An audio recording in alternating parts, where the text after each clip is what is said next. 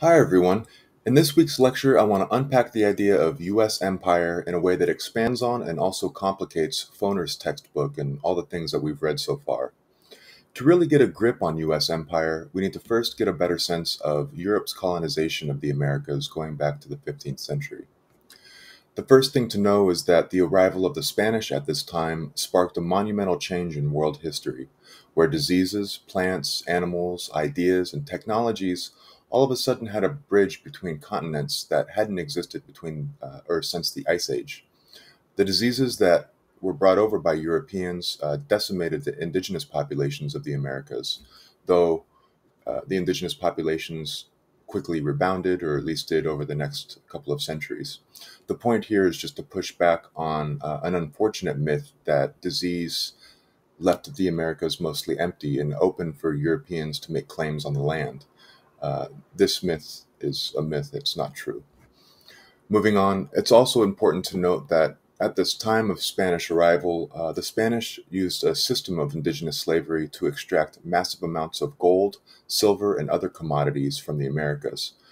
Alongside the Atlantic slave trade and the system of black slavery, which was developed by Spain, France, and Britain, uh, this extraction of wealth from the Americas helped to jumpstart the modern capitalist system in Europe. I don't want to get too distracted by the long history of European empire in the Americas, but I do think it's important to point out that long before the United States ever emerged as an independent nation state in North America, European empire in the Americas had already changed the history of Europe.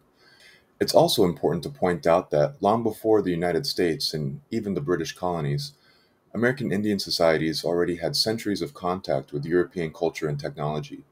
As culturally complex and militarily powerful societies, these tribes were equal players in American geopolitics. That is all to say that we need to remember that there's a history to the Americas and there's a history to North America long before the United States came on the scene. With this contextual background setting up our understanding of the early United States, I want to now talk about US empire. So technically, US empire can be traced back to the British colonies, but for our purposes, I want to pick up the thread with westward expansion, which began shortly after the American Revolution. Westward expansion was driven by three main things ideologies, economic and strategic interests, and technological power. The main ideological drive behind westward expansion was this idea called American exceptionalism. This idea had its roots in the Puritan colonies, when the Puritans arrived, they described their colonial adventure as a city upon a hill. This doctrine argued that their success on the continent was preordained by a covenant with God. The city upon a hill idea also argued that the colonies would shine as an example of a righteous society and be a beacon of hope to the rest of the world. After the American Revolution, Thomas Jefferson adopted this city upon a hill idea and with his Enlightenment thinking and more of a secular twist, he developed the idea of an empire of liberty. This idea held that the US was responsible for spreading freedom and republican democracy across the globe. Notably, he thought that the best kind of republican democracy was an agrarian society of farmers. In this way, Jefferson attached America's destiny to an agricultural economy. This would be an economy of homesteaders who in the imagination of uh, the founding fathers, would expand U.S. empire westward and the settlement with new land. This model of American society encouraged American settlers to push west and establish homesteads and thereby new territories and eventually new states. In the 1850s, the drive to settle the lands to the west was reframed with a renewed religious zeal. This time it was described as manifest destiny, this popular ideology held that America's settlement of the entire continent was preordained by God and inevitable. These three ideologies together, uh, City Upon a Hill, the Empire of Liberty, and Manifest Destiny, all came to reinforce this larger idea of American exceptionalism. And the idea of American exceptionalism runs throughout US history and is actually uh, very much alive to this very day. So we should pause here and remember that Although the current U.S. borders may seem natural, stable, and coherent, the border as we know it today was created through a series of historical accidents. That is, we should not allow ourselves to get caught up in the myth that the United States' control over the middle portion of North America was somehow inevitable. Instead, we should recognize that today's borders were shaped by active conquest and an incredible amount of violence. This leads to my next point, which is that the expansion of America's empire on the continent was driven not only by ideology, but also by economic and strategic interests, and also military power. Putting ideologies about land and settlement to the side, land was also the main economic resource driving America's growing agrarian economy. The North pushed west as homesteading families, and the South pushed west with its plantation economy. The discovery of gold in California in 1848 threw westward expansion into overdrive. Not only did gold attract a new wave of European immigrants to the United States, it also drove Northerners and Southerners to occupy all the land heading toward California so that the new territories and new states would reflect their respective political and economic systems. This was a major issue leading to the Civil War. But let us not forget that indigenous people already occupied much of the North American continent and many of these tribal nations were serious military powers in their own right. Thus, to negotiate the settlement of land, the U.S. created treaties with indigenous tribes to secure the peace. The very nature of these treaties meant that the U.S. recognized that these tribes were independent nations that needed to be dealt with according to international law.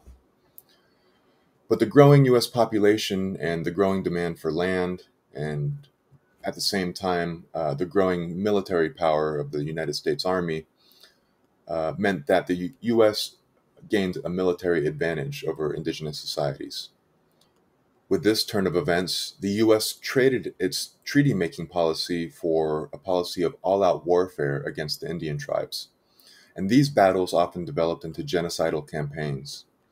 For example, in the 1830s, President Andrew Jackson developed the idea of forcibly removing Indian tribes across the Mississippi River. This culminated in what is called the Trail of Tears, where 125,000 Cherokee were forcibly marched into present day Oklahoma. Uh, along the way, 3,000 people died.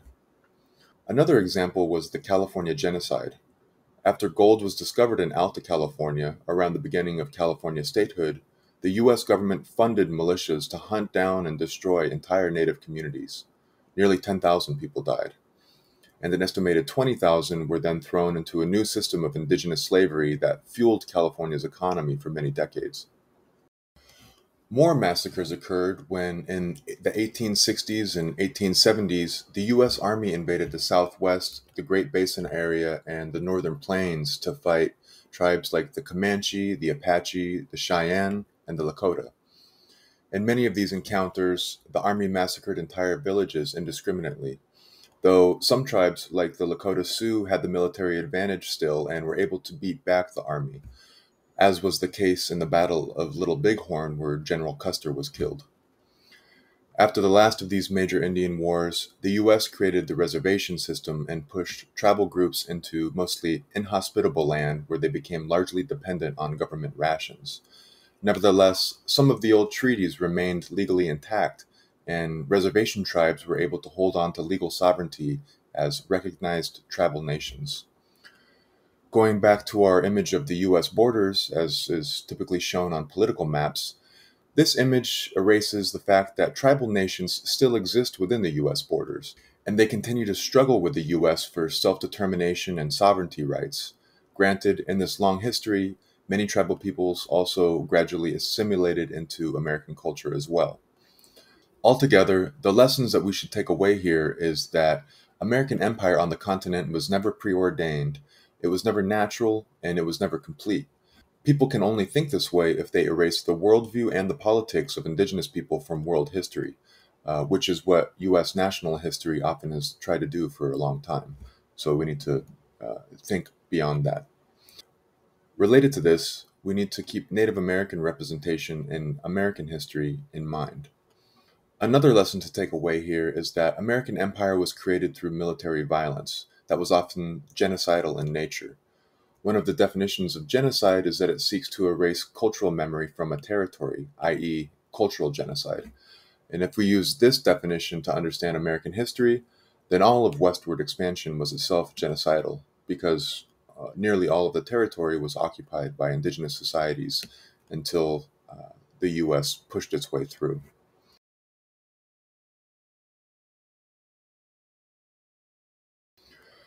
I want to transition here again to connect America's continental empire with America's global empire. We can look back at the Monroe Doctrine as an early precedent to signal America's global ambitions. Created by President James Monroe after the American Revolution, the Monroe Doctrine argued that the US should be the only European power in the Western Hemisphere, and that other European powers should just stay away. Keeping Europe out was one thing, but expanding US power overseas was another. This overseas empire began around the turn of the 20th century with the Spanish American War. As an industrial power on the rise, the US defeated the Spanish and annexed the Philippines, Guam, Cuba, Puerto Rico, and the Dominican Republic. The new conquest inspired Teddy Roosevelt to revise the old Monroe Doctrine in what became known as the Roosevelt Corollary, which was in the textbook. Here, Roosevelt argued that U.S. interests uh, gave it the right to intervene in the politics and economies of Latin America. Uh, among other things, this philosophy justified the U.S. construction of the Panama Canal, which it did in its own interest in global trade. And uh, it also gave the U.S. corporations permission to assert control over Latin American governments. Just to keep the global perspective in mind, uh, the expansion of U.S. empire at this time coincided with the expansion of French, British, and German empires in Africa and in Asia. We can think of this as U.S. empire being a part of Western empire in general uh, at the turn of the 20th century. This view allows us to see larger patterns, uh, such as the fact that Western countries were using industrial technology to reinforce their militaries, giving them technological means to project their power around the world it also allows us to see that all of these Western countries used the emerging concept of race to rationalize and justify uh, imperial expansion. On one hand, Western countries used racial thinking to denigrate and dehumanize the people they were occupying. And on the other hand, uh, these Western countries felt that the white race was morally responsible for civilizing the rest of the world through empire. Uh, this is a throwback to Jefferson's notion of the Empire of Liberty. Hence, uh, this is where American history and European or Western history is kind of interrelated. Jumping uh, into the Cold War, the Truman Doctrine gave a new spin to American empire. The U.S. began to see its influence over other countries around the world as fundamental to its own national security. And the U.S. gave itself the mission to defend the future of capitalism. This was basically a blank check that justified all kinds of interventions in other countries' affairs. Often breaching international law, the US repeatedly destabilized governments and homegrown democratic movements to pursue its own interests. And to double the irony, it asserted its influence through friendship with authoritarian leaders, and it often used the CIA or direct military intervention to, uh, to achieve its own strategic goals. US interventions in Iran, uh, the Vietnam War and the bombing of Cambodia and interventions in Nicaragua are but a few of many examples. The latest transformation of U.S. empire is the War on Terrorism, otherwise known as Operation Enduring Freedom, which was put forward by the Bush administration after 9 11. This was another blank check to invade any country that the U.S. deemed necessary to protect its own national security. And as most of you should be familiar with, uh, this is the context behind the invasions of Iraq and Afghanistan.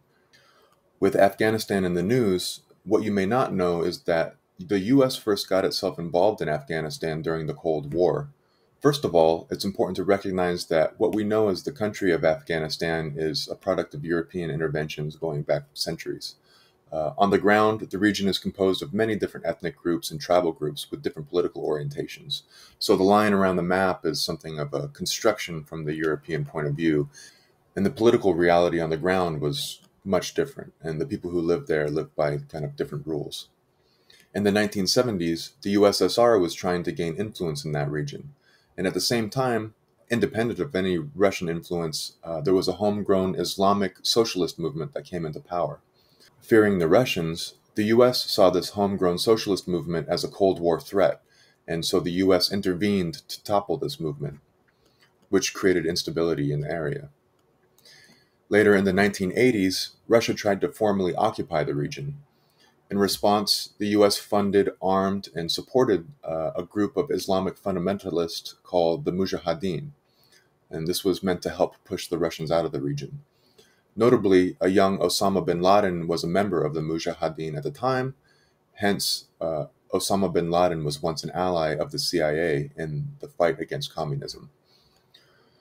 The US coup was a success, and the Mujahideen successfully pushed Russia out of Afghanistan, uh, especially using um, you know, military technologies from the US, like Stinger missiles that were able to shoot down Russian helicopters. But as time went on, the next generation of Mujahideen rebranded themselves as the Taliban. Hence, the US had a significant role in creating the Taliban as we know it today. And at the same time, our former ally, Osama bin Laden, changed his tune at this time uh, and started Al Qaeda to pursue a holy war against the West. And in 2001, as we all know, he organized the terrorist attacks uh, on 9 11. So, in response to the 9 11 attacks in the US, the US invaded Afghanistan and then Iraq. Iraq had nothing to do with 9 11, uh, but it was one of the world's largest oil reserves, so the Bush administration added Iraq to its Middle East strategy. Although the US had told the world that it was interested in nation building in these two countries, the US invasion force killed a lot of innocent civilians and destroyed these countries' basic infrastructure. The resulting chaos uh, opened up the door for sectarian violence between religious groups and tribal groups, who, who at the time were only being held together by these arbitrary national borders that had been established by the British and the French after World War I. So this is a big tangled mess, basically. Uh, hence, anyway, when the U.S. invaded these countries, it opened up a kind of Pandora's box uh, that had been in the making for some time. In the meantime, as these societies were disintegrating under U.S. invasion, the American defense industry, private contractors, and corrupt local politicians made out like bandits, and U.S. oil corporations got a foothold in the region. Altogether, it's not like things were great in that part of the world before, but the long history of European and U.S. imperialism in the region had created the conditions in which failed states and extremist groups could flourish. There is a lot to take away when we analyze these events, uh, but I want to return to a question about American history that I have referenced a couple of times already, which is based on a structural analysis of American freedom and American democracy. We have already unpacked how, within the US society, uh, some people's freedom has often been connected to other people's oppression, uh, with people's experience being connected by politics and economics, for example. With this lecture, we can use our understanding of US empire to see another structure outside of US society that is nevertheless connected to US society. This allows us to see a hidden dimension of how American freedoms are relationally connected to forms of oppression in the broader world.